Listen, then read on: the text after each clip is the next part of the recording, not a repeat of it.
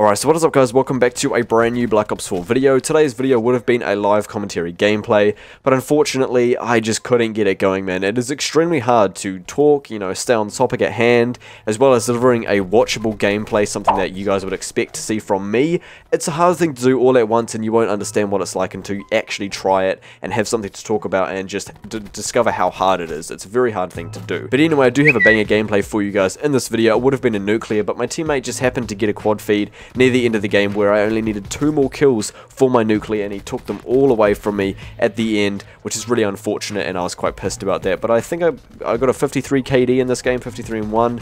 I went, which is really awesome. So let's get into it. Basically, what I'm going to be discussing with you guys here in today's video is all the tips and tricks I have regarding the 1.2 update and helping you guys adjust to what it has bring to the game. And for multiplayer, that isn't a lot, unfortunately. Uh, we got Reaper from Black Ops 3, we got the Argus, we got the crossbow, no M16, has been found. It's not in reserves at the moment, uh, but even if it isn't, this game is basically just recycled Ops 4 at the moment, honestly. They just don't really seem to be able to come up with anything original anymore. Yeah, we're just going to be discussing those tips and tricks I have for you guys, and let's get into it. So the first one I'm going to be covering is equipment charge. Now this is, you know, it's been in the game since the start, but what this allows you to do is have your main and secondary specialist abilities recharge faster and this is very very helpful for obviously every specialist but with Reaper specifically you are able to use the uh, I think it's called the Reaper Shroud. It's like a little sensor dart thing. It basically is the same. Instead of you know the sensor dart pulsing and showing where the enemies are on the minimap this one just covers uh, the map in a certain radius from where you put it and it just totally jams where you are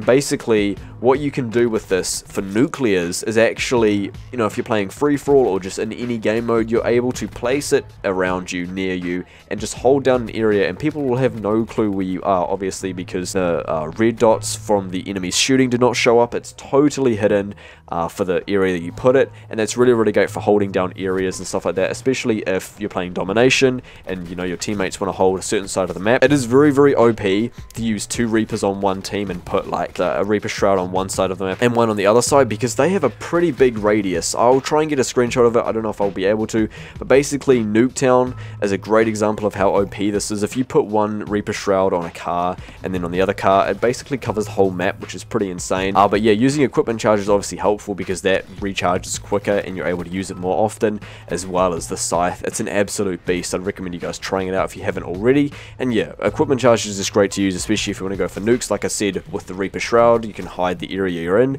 and hold down a certain area as well. It's really, really good to use. The second thing I'm going to be going on to, which actually counters in a way Reaper's Shroud, is the Team Link perk. I was just going to title this whole video Team Link now has uh, a purpose in Black Ops 4, but I wanted to cover other oh things as well. Team Link does actually have a purpose now. If you guys aren't aware, basically what it does is that it allows you to have an outline of your enemies through the wall, and if you've got a enemy placing a Reaper Shroud on the map, you're able to still see where your enemies are, even though that part of the uh, map is covered. You know, you can't see the enemy's position on the mini-map, but having Team Link does allow you to see them through the wall, so that's really, really helpful as well.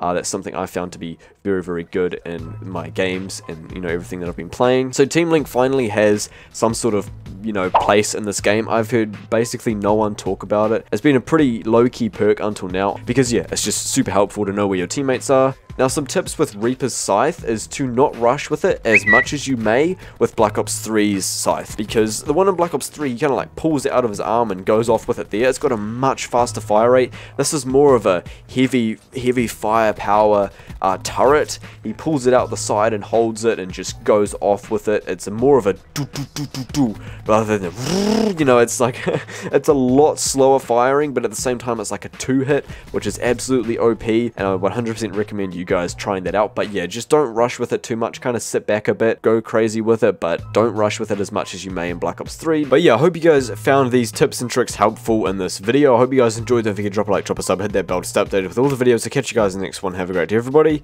and I'm out